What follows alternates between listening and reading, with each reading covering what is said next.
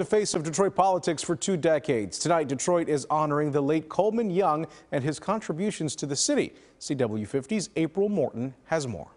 The city building downtown bears his name, but if some local lawmakers have their way, a statue of the former mayor Coleman A. Young will be placed in the nation's capital.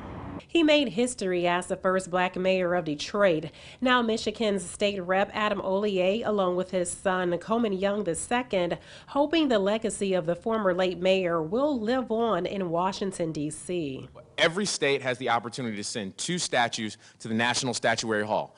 Uh, that decision is made, one, by the Republicans choose their person, the Democrats choose our person.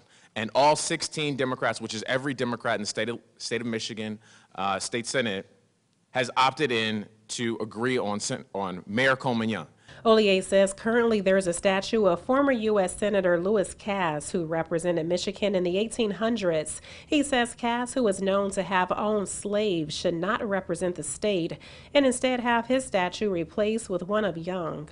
All the folks who you see moving the levers of power today in the black community do so because Coleman Young decided that there had to be space at the table. Nobody was a more effective spokesperson who said, We are going to be heard, we are going to be respected, we are going to be listened to. Young also played a major role in the automotive industry. The General Motors Poletown plant uh, was just another example of how strong and committed he was to the UAW, to Michigan, and to Detroit being the auto capital of the world. And that same factory that he built is now the foundation for where we're going in electric vehicles. The process of getting the statue has now gone through legislation in Lansing.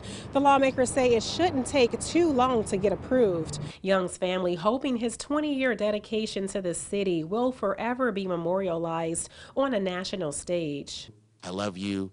I will never forget you. And may Coleman Young's legacy last for eternity. In Detroit, April Morton, CW50, News at 10.